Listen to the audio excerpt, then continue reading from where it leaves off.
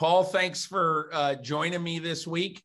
We had some really, really fun games over the weekend, and I don't think a soul, not even the brilliant Paul Burmeister, back in August, picked a Rams Bengals Super Bowl. Now you can you can dispute that all you want, but I I have proof. I don't think you picked that. I think you had one half of it correct, though, Peter. I, I, do remember you going with the Rams, so you're at least a little bit more on the correct side than me. I did have the AFC North in, in the Super Bowl, if that counts for anything, but it was the Browns. So I was yeah. I was way off. And you are you, you are in a very nice suite there, Peter. The Peter King name still carries some weight there in Cincinnati. I see. I, I need to check yeah, into I that mean, I checked in. I'm, I, I'm I'm here at the Hyatt in downtown Cincinnati and uh, I, I, don't know. I just walked up to the desk and they gave me a very nice room. So thank you to the Hyatt in Cincinnati. Uh, it's Tuesday morning and I've already been out. I've been up since five o'clock this morning and I've already been out and about. And I left the hotel about 5:15 this morning for a meeting. And I'll tell you the really interesting thing, Paul. I lived here in Cincinnati and started my career at the Cincinnati Enquirer in 1980. And obviously, this town is on fire. Um, you know, yesterday, when I checked into the hotel, I turned on the evening news, Channel 5, the NBC affiliate in Cincinnati. The first 34 minutes of the news um, was the Bengals and the weather. there's going to be a storm here later in the week. So uh, it was all Bengals all the time, punctuated by about three storm warning uh, weather forecasts. But that's what I remember about Cincinnati. When they've got a sports team that's on fire, they go nuts. And so, um, and look, Paul, I don't know about you. I think they got a shot. I mean, I, I just think back to Joe Burrow a couple of years ago in the 2019 season at LSU going into Alabama. And everybody said, oh, here's where Joe Burrow is going to get exposed. And it was actually Joe Burrow who exposed Alabama that day. And I just think, I think Burrow's just not afraid of anything. And, you know, I've talked to Zac Taylor, the Bengals coach, about that. And, and, and he basically said to me, there is not a situation that Joe Burrow doesn't feel like he's going to conquer. Look at the way he's answered the bell, and the team has answered the bell really for the last month. And I remember well, Peter. I think we, we spent some time talking about the crazy numbers that he put up offensively against the Ravens when they had basically nobody uh, that should have been on the team playing in that defensive backfield. Since then, though, I mean, they have beaten good teams. They're scoring over 30 points routinely. Burrow, I mean, how many times has he made a poor decision in the last month? I mean, you, you really have to go back and look. Um, so that they've shown up at every single game. Uh, they erased an 18 point deficit at Arrowhead. So uh, back to your original point that you wouldn't be surprised or that they have a real chance in the Super Bowl. I, I think anybody would be foolish to think just because they have those uniforms on and because it says Bengals that they don't have a real strong chance to go in there and win. Paul, let's take a minute and uh, I just want to review a little bit uh, the two games that we saw over the weekend Kansas City against Cincinnati, where, as you said, the Bengals came back from a 20, 21 to 3 deficit uh, to win that game. Huge stop at the end of the first half for the Bengals. So it wasn't such a daunting task entering the last uh, few minutes of the game, the last 30 minutes of the game. And then uh, the game that I was at, the uh, uh the Rams 49ers game, where you know the Rams came back from 17-7 down late to win.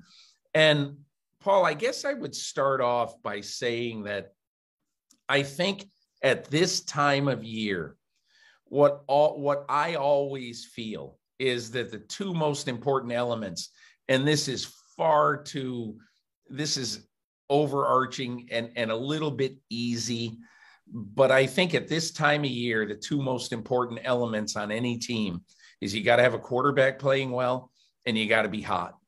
And i think both of these teams have shown that they have a quarterback playing well. And look everybody's going to say well wait a second. Matthew stafford been inconsistent, all that other stuff. And he did have, you know, the Jaquiski Tartt uh, drop interception late that really kind of saved their bacon. But look, I'll just say this in these three playoff games, you know, Matthew Stafford, one turnover.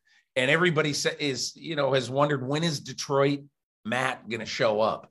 And I think that impresses me that at the biggest moments of his life, he's played some of his most efficient football. I think Matthew Stafford has been terrific, Peter. And I would say, just kind of as we open the door to both of these games, you talk about how you have to have a hot quarterback and a kicker. Uh, I would also add, uh, while I have the chance to, that you got to have a strong counterpunch too. Uh, somewhere in there, in addition to that quarterback being wonderful and the kicker coming through, couple of the supplementary parts have to step up too. And look at the Bengals defense and what they did. Right. I mean, of all the units we didn't talk about much in the postseason, or it didn't it didn't get a lot of attention. Cincinnati's defense. And I know we're going to spend time on that. And also, like, look at the Rams. Cooper Kupp's terrific, but Odell Beckham Jr. as a supplement, over 100 yards. So the counter punches for both teams, in addition to the kicker and quarterback, I thought really stood out on Sunday. Well, so let's go into the Rams just a little bit. I'll tell you, covering that game, first of all, uh, you know, obviously it's a two year old stadium, SoFi. This is the first year they've had, you know, big crowds in there. Um, this stadium is a work of art. It's utterly, utterly beautiful. And I think the people who get to see it for the first time at the Super Bowl are going to be highly, highly impressed.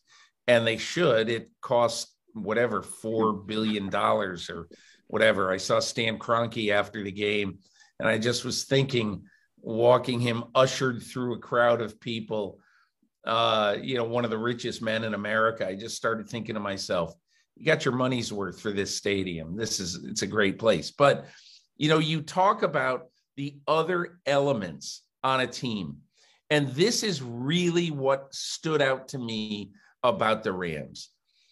You know, Odell Beckham Jr. has been on that team now for about nine or 10 weeks. And Paul, you can just tell the comfort level that Matthew Stafford has with Odell Beckham. If you look at, you know, how often, obviously, Cooper Kupp is his bread and butter. You know, as Les Snead, the GM uh, of the Rams, has told me, he's in essence another quarterback on the field. That's how much he studies the game, and that's how much he knows the game plan. He knows everybody's job, and and I think as as the most as good as Cooper Kupp is, and he's got the best numbers now of any receiver over the course of a full season, including playoffs in NFL history.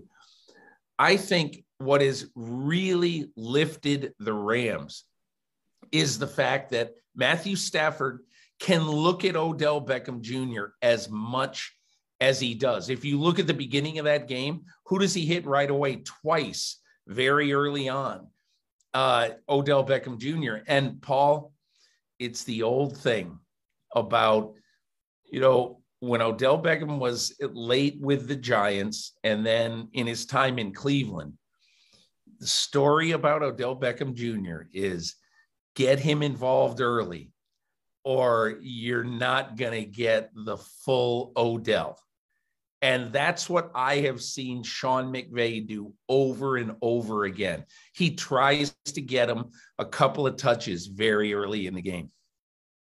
And I, I, think making that points mean all the more, Peter. Remember on that first drive, I think the drive ended where Beckham was open over the middle and Stafford threw high and behind him. And it's a ball that Stafford would tell you, man, I've got to throw that better 99 times out of 100.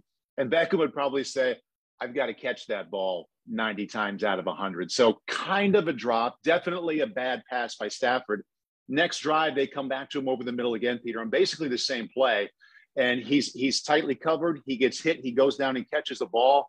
So what I've been impressed with, and yes, they are going to him early, I think to prove a point to him and to the team, but it hasn't been the giant flash kind of plays like, oh wow, look at Odell Beckham Jr.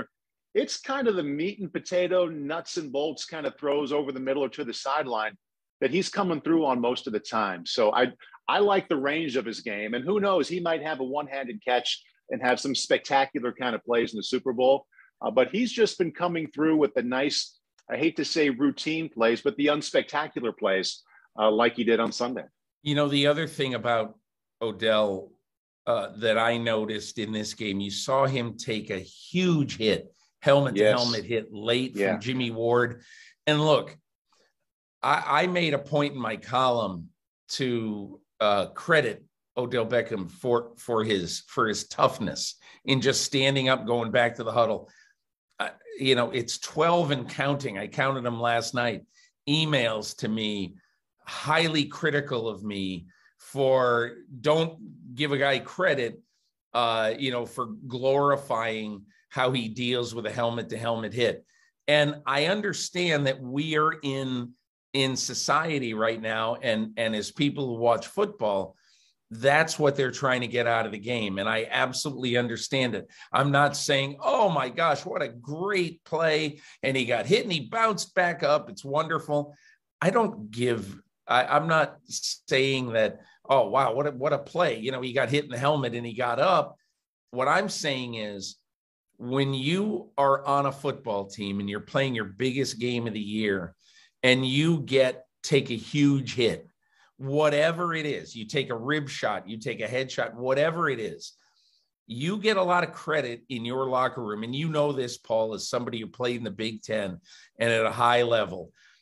You're going to look at a guy like, okay, he he's he's into it today. You know, he he and and, and that was really kind of what I meant that he bounced right back up. Hey, let's go. It's not like he got up and said, Oh, come on, Jimmy Ward, I want to fight you. And he just said, hmm. okay, let's go. And I, I give him a lot of credit. And I bet he woke up on Monday and wasn't feeling really good after that one. I think the physical toughness he showed there, uh, Peter, definitely shows up. And no matter your position, no matter the time of year, your teammates look at you differently when you string together uh, a certain amount of plays where you're showing a lot of toughness. I'll also point out his mental toughness and his maturity. And you do expect a player with a lot of years in the league to not respond to that but he's had moments in the past where he could have come out of that with a moment where he kind of made it about him. The wheels kind of start to come off a little bit on the field, on the sideline, and he didn't do that. So it's not so much that you're complimenting a player for being a mature adult professional. He's supposed to be. You're just recognizing that, that there have been times in the past where a play like that could have caused him to react in a different way. Paul, I spent a few minutes with Matthew Stafford after the game in the middle of the mayhem and all that. And I, as I pointed out in my column, you know, it's it's it, it, it down honestly to the minute. Um, he had confetti flying over his head uh, at 6:45 p.m.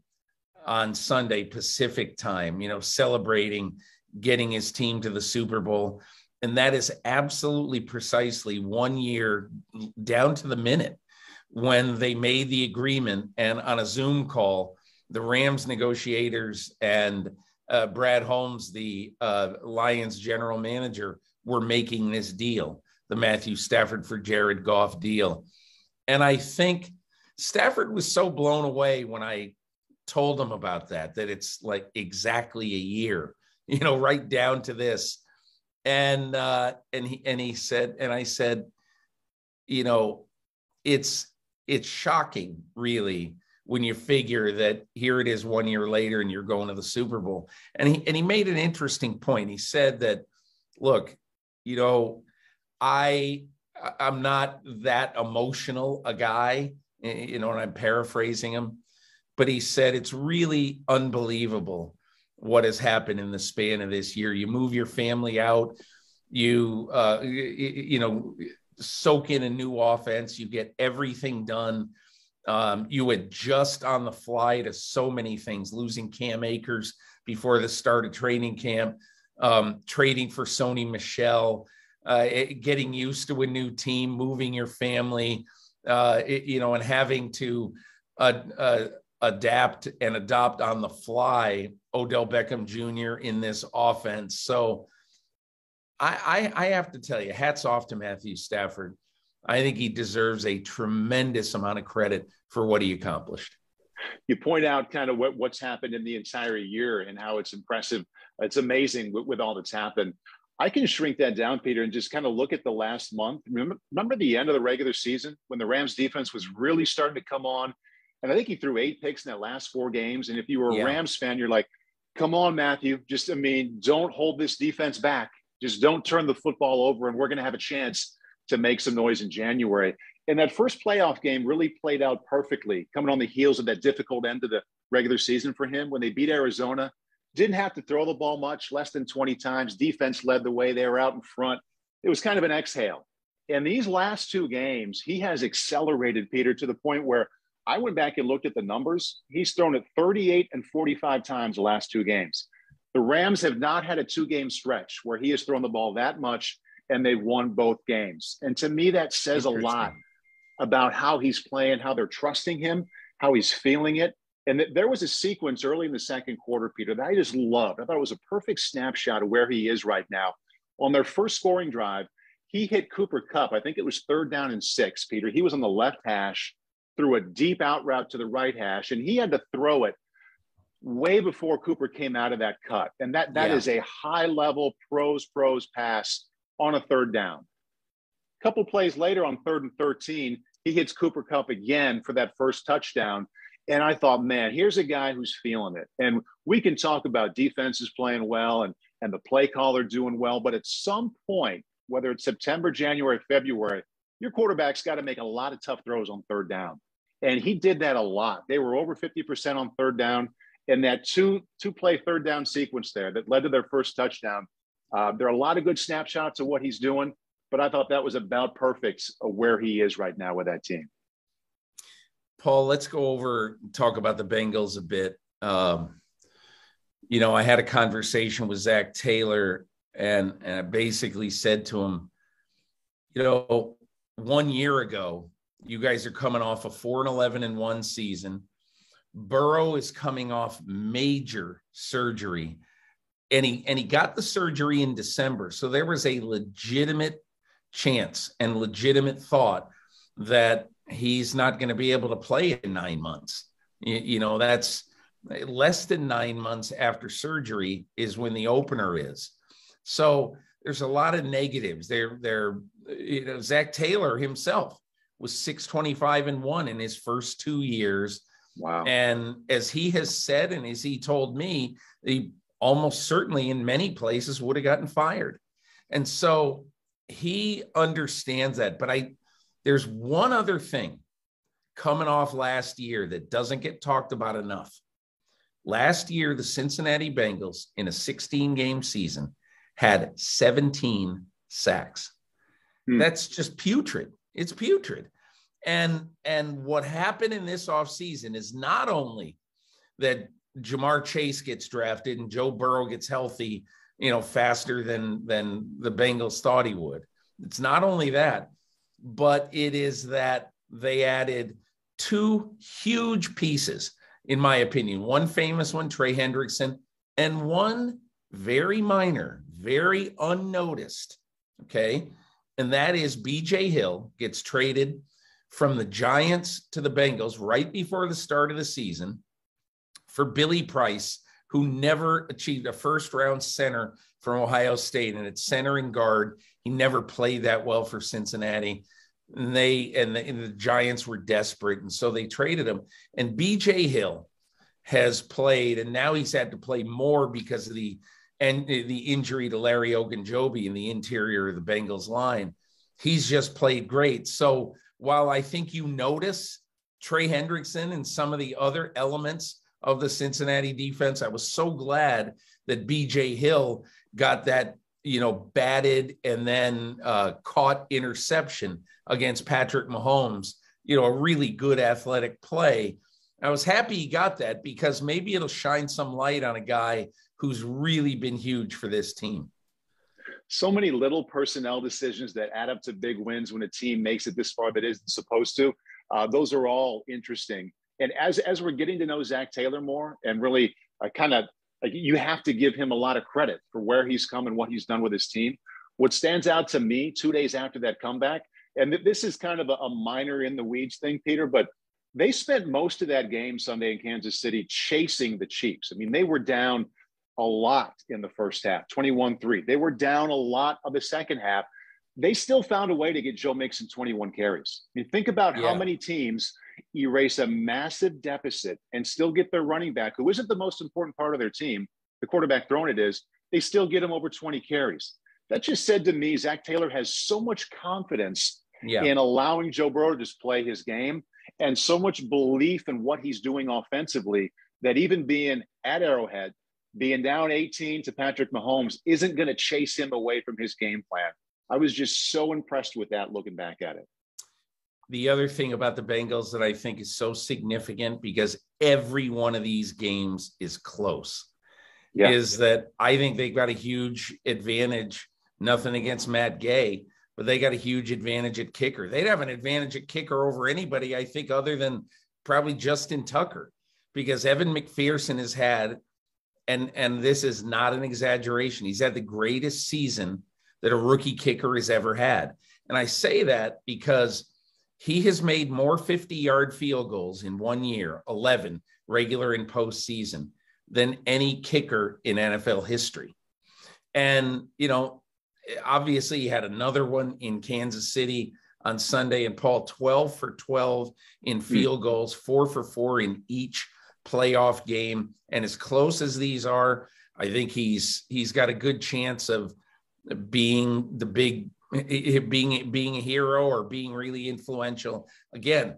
And one of the quotes of the year, I I uh, and it's not necessarily politically correct, but I I asked him about the pressure and how he deals with the pressure because it doesn't seem. I mean, he's just like Joe Burrow. You know, you have no idea. It looks like they're having they're in a scrimmage in in May with nobody in the stands. And I asked him about that, and he said, being a kicker is like being a sniper. You mm. get one shot. Yeah. And I, I, thought that was really kind of obviously, as I say, it's not politically correct, but it's very self aware about yeah. the pressures on that job.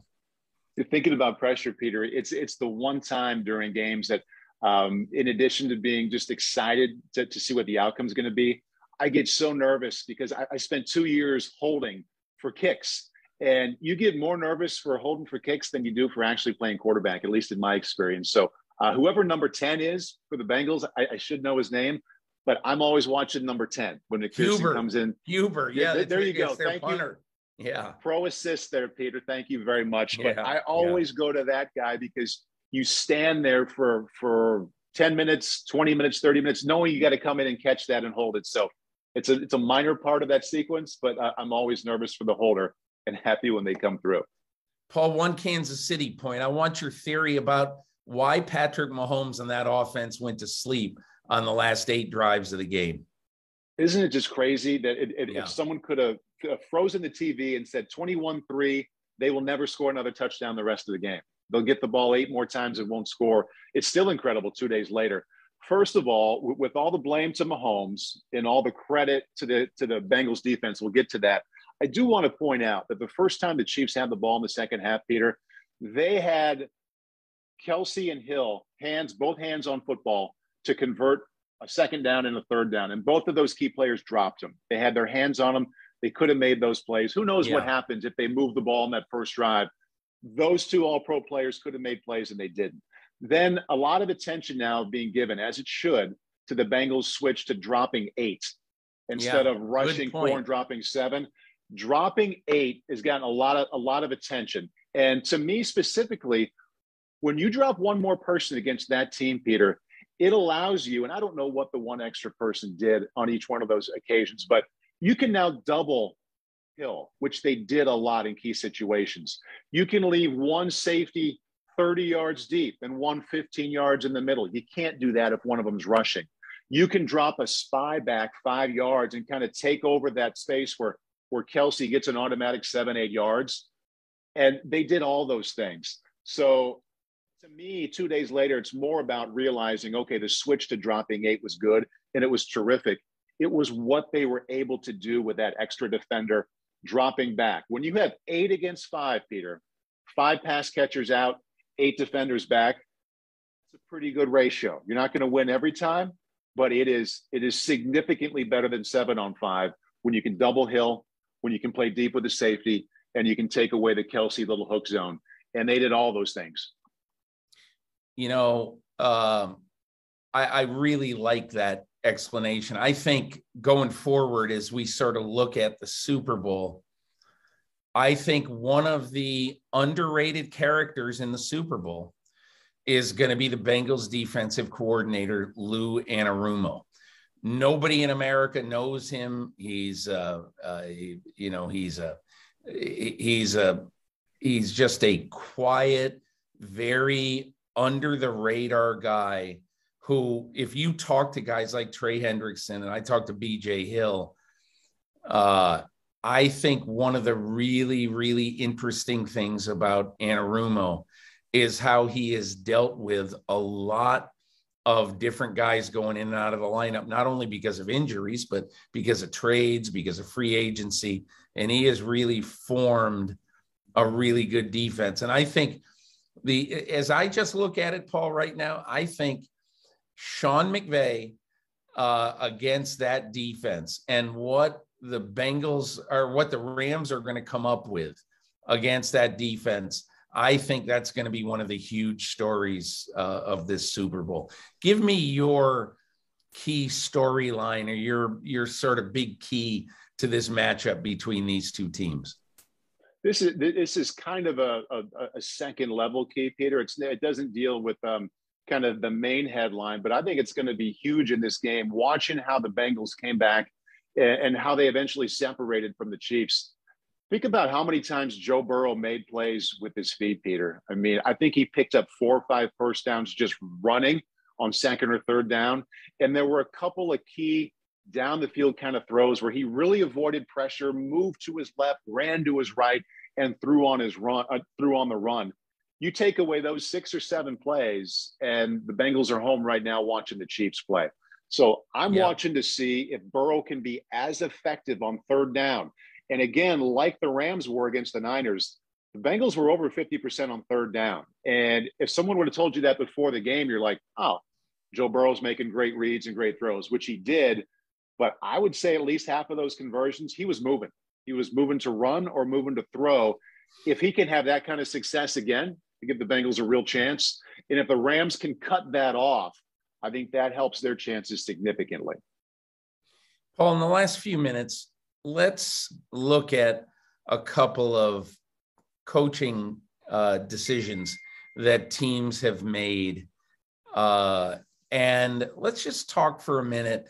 I, I'm really interested in the Las Vegas Raiders and sort of the combo platter of Dave Ziegler as general manager and Josh McDaniels as the head coach.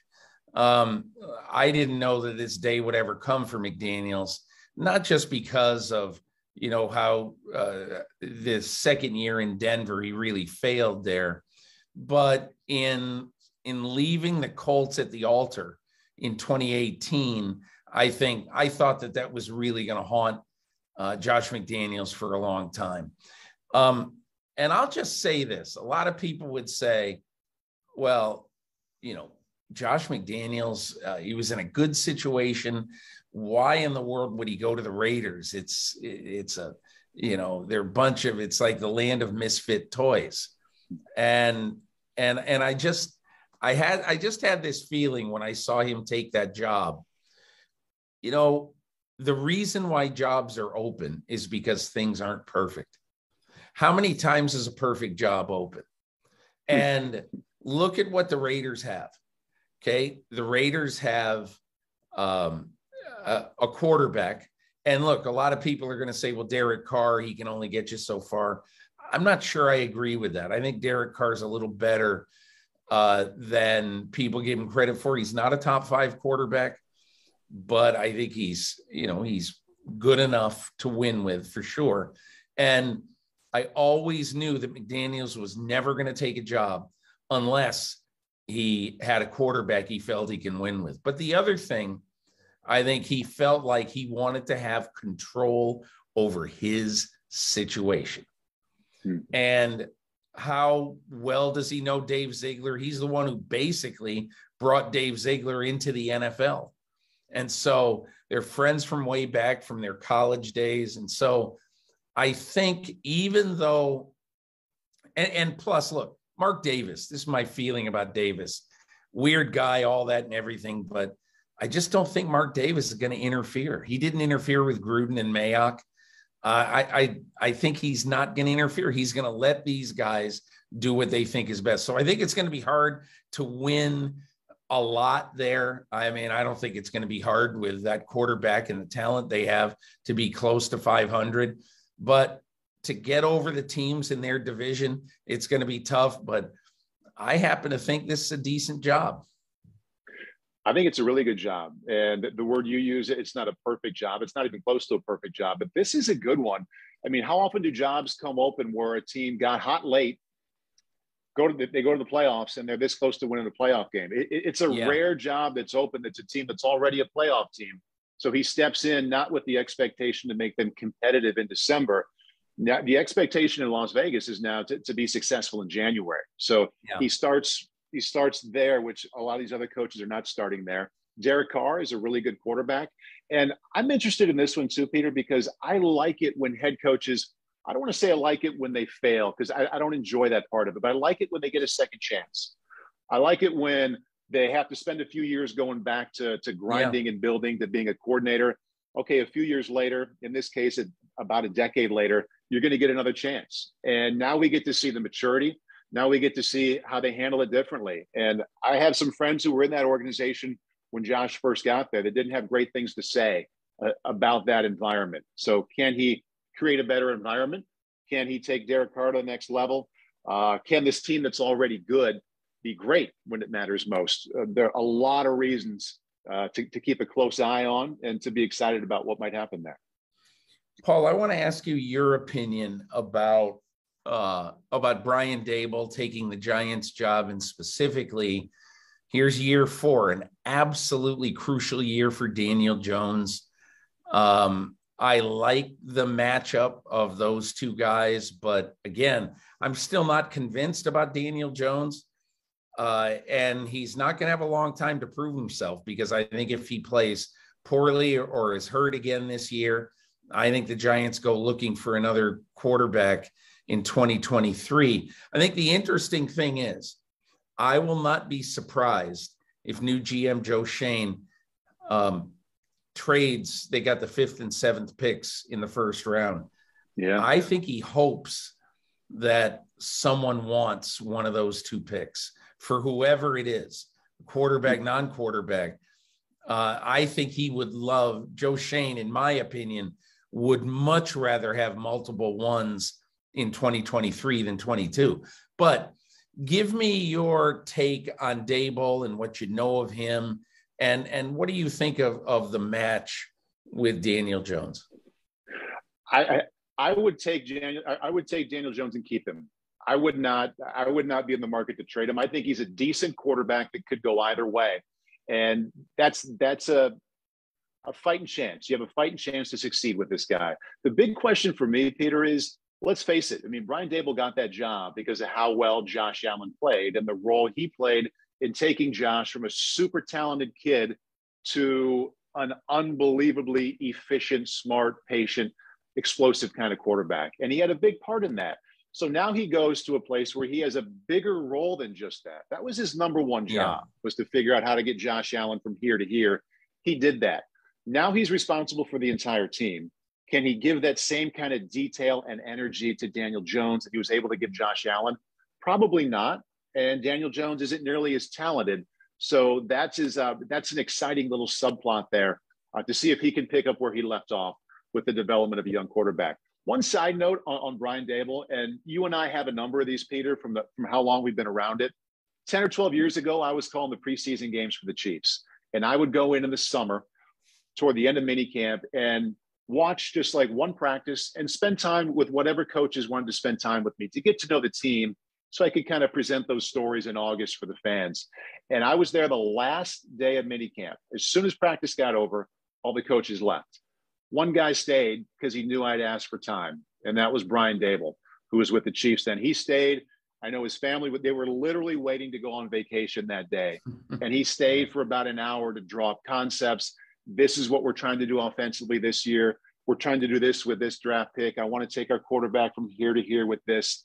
He was wonderful, not only with just the insight, but the kindness to stick around when he probably had other things to do that he wanted to do more. So um, that, that's where my mind goes when I think about the Giants' new coach. You know, some other interesting, uh, you know, coaching decisions have to be made. Um, normally, if if what we were saying was going to, you know, be broadcast right now, it'd be fine. We could talk about these, but the danger of a podcast is by the time it airs, two more of these jobs could be filled. right. but so we'll see. But I'm really curious, honestly. Uh, the most cu- the most curious name I've got so far is Brian Flores because, I mean, think about it. It has been now as we record this, 22 days since he the stunning firing of Brian Brian Flores, and so far no job. Now who knows? Maybe Houston. Uh, you know, you you don't know uh, and I do think he's going to end up with one of these jobs, but that has been a little bit of a surprise. But let's see where we are next week at this time, um, because I would expect that Flores will uh, will end up with one of these jobs.